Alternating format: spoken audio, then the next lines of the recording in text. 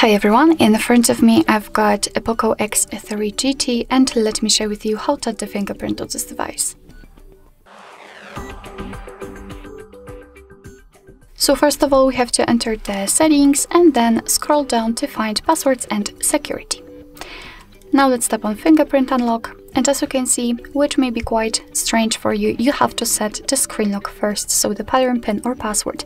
Of course, if you've got one currently set, you will be just transferred to another step. If not, you really have to do it right now, because if for some reason the fingerprint sensor won't work, then you will still be able to unlock your device with um, some of those options. Uh, what is more, thanks to this, you will not have to go through the hard reset operation, which will wipe out all of the data. So it's really important. Let's pick the one you like the most. And this is basically the information I just told you. So just upon got it, let me set the pattern, redraw it and confirm. Alright, and here we've got the information that the fingerprint sensor is located right here on the power button, so let me put my finger on it and right now we have to simply do it multiple times to add our fingerprint fully and try to catch every corner for better recognition of course.